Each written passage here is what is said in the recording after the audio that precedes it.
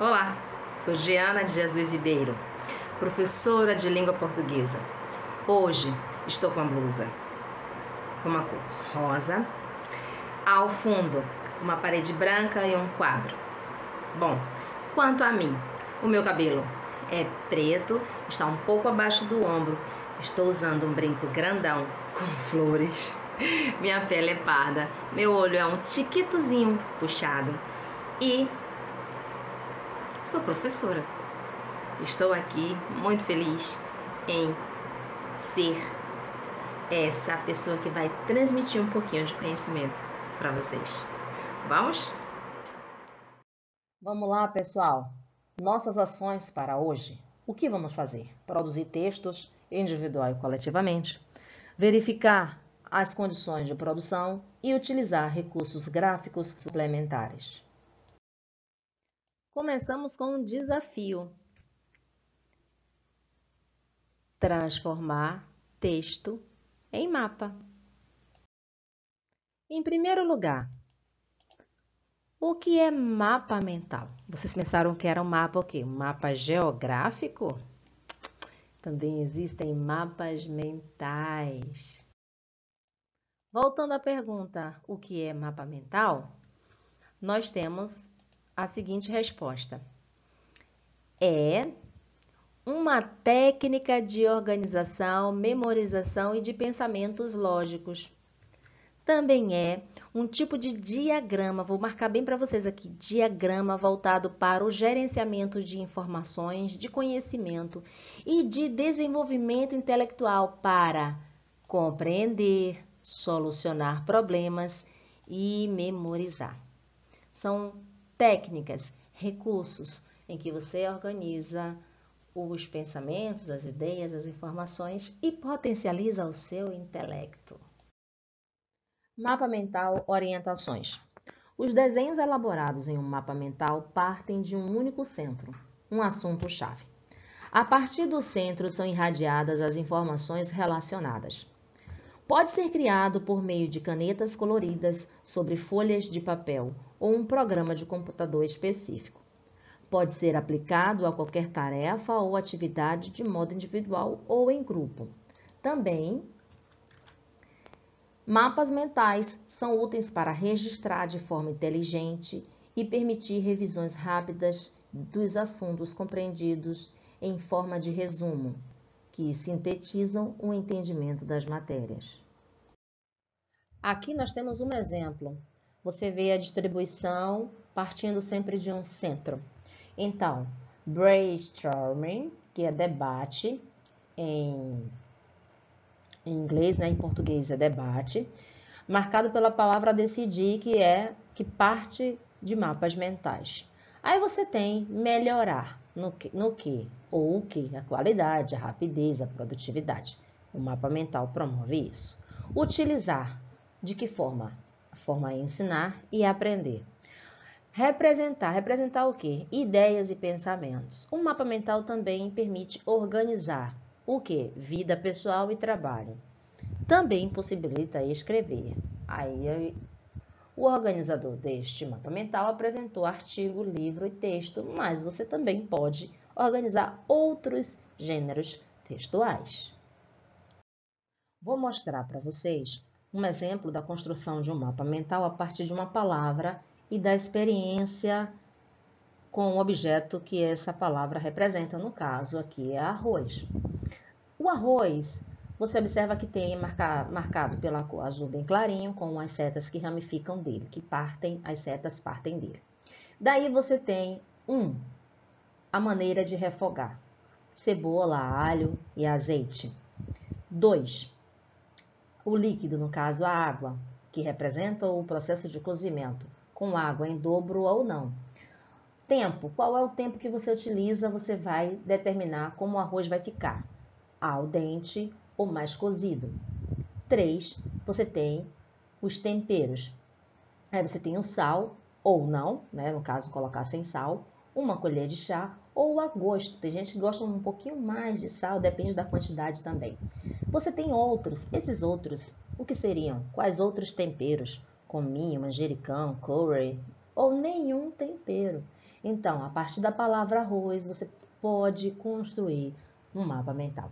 Você também poderia construir um mapa mental colocando o arroz e suas propriedades, o arroz e as combinações com outros alimentos, o arroz e sua composição química, certo? O arroz e a cultura do arroz e o tipo de arroz, certo? E agora nós vamos para a construção de um mapa mental que parte de um texto. Vamos agora para as orientações como elaborar um mapa mental. Escreva tópicos claros e curtos para memorização de informações com poucas palavras. Trabalhe as mudanças de cores para mentalizar os agrupamentos de ideias ou de palavras. E por último, apresente formas de organização de palavras e de desenhos que façam sentido para você e não só para os outros. Então tem que fazer sentido para ambos, ok? Vamos ao exercício. Primeiro a leitura, depois a gente parte para o exercício. Lendo o texto para produzir um mapa mental. Vamos agora para a nossa prática. Mas antes, vamos identificar onde é que está este, este texto. No material Rio Educa, do nono ano, na página 9, intitulado Sempre que possível, tenha um dia inteiro de autocuidado. Sempre que possível, tenha um dia inteiro de autocuidado.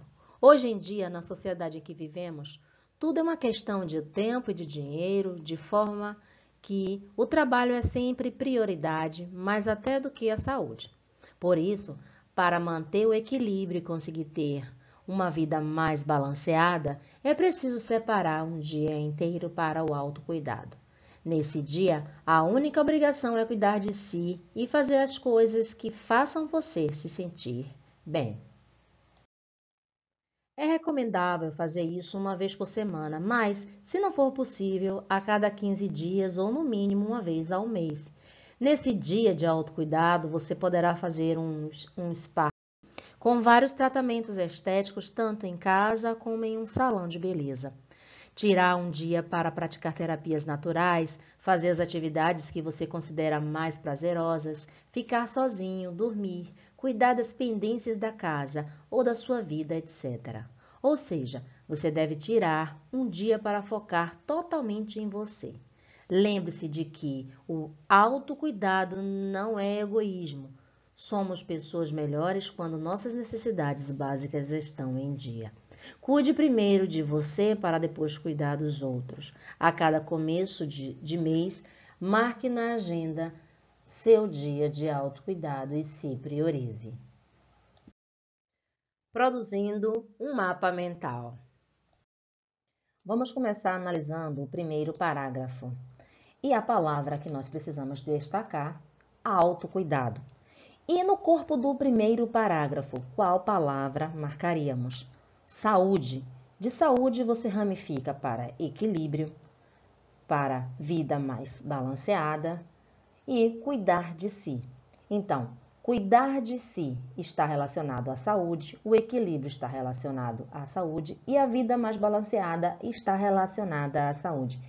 E saúde está ligada diretamente com autocuidado.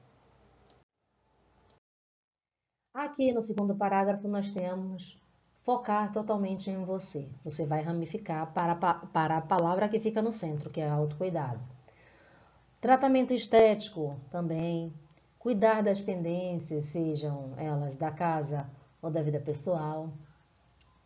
Praticar terapias naturais, fazer atividades, certo? Ficar sozinho não é aí incentivo ao isolamento total e sim um momento contemplativo que você se permite meditar sobre a própria existência, ok?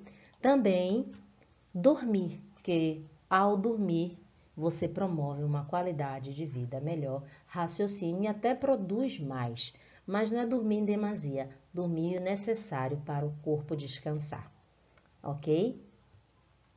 E, por último, priorizar-se se priorize, coloque-se em primeiro lugar. Vejamos como vai ficar nosso mapa mental. Primeiro, autocuidado. A palavra central aqui que está no título está presente implícita, explícita e implicitamente no corpo do texto. Primeiro, saúde. Da saúde, nós tiramos equilíbrio, cuidar de si e vida balanceada.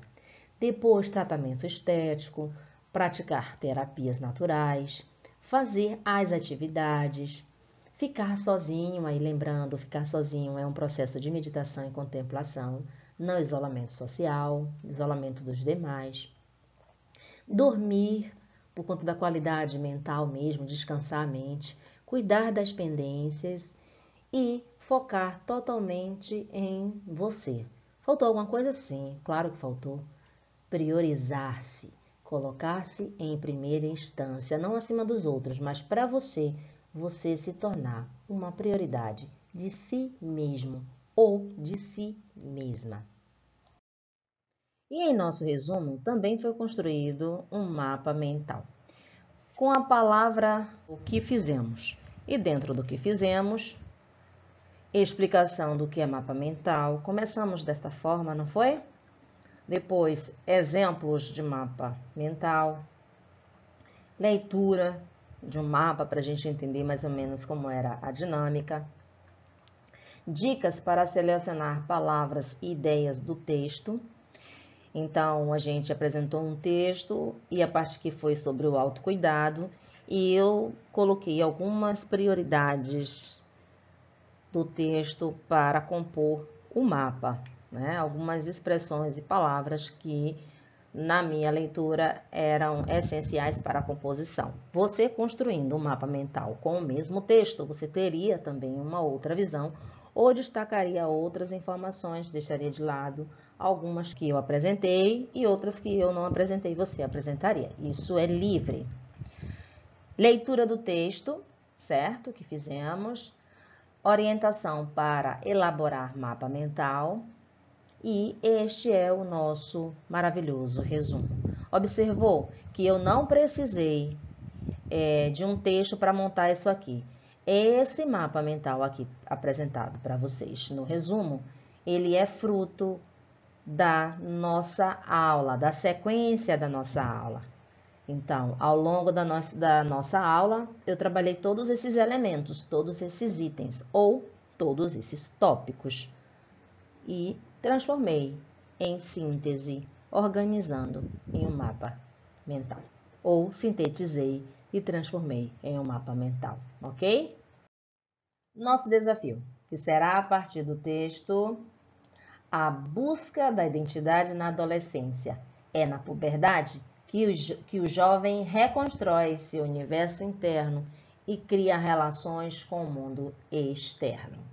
O desafio consiste em leia o texto e produza um mapa mental, atentando-se para as orientações presentes ao longo desta videoaula.